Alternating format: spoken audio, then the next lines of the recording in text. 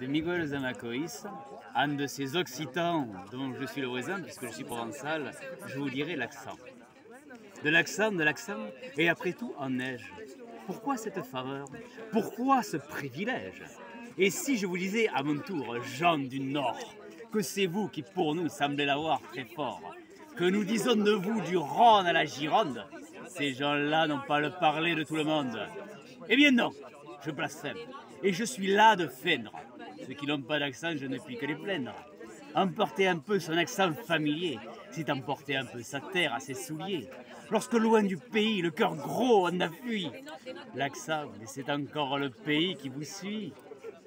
Écoutez, je plante le décor du torride midi dans les brumes du nord. Mon accent porte à soi d'adorables mélanges. Il évoque à la fois le feuillage bleu-gris de nos chers oliviers, aux vieux troncs ramougris, et le village splendide, où les treilles éclaboussent de bleu la blancheur des Bastilles. Et quand vous l'entendez chanter dans ma parole, tous les mots que je dis dansent la farandole.